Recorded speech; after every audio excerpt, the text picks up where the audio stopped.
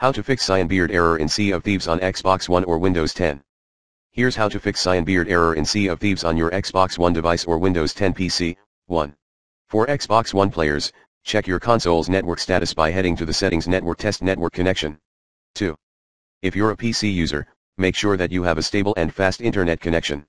If not, Google and try troubleshooting the slow connection speed issue yourself.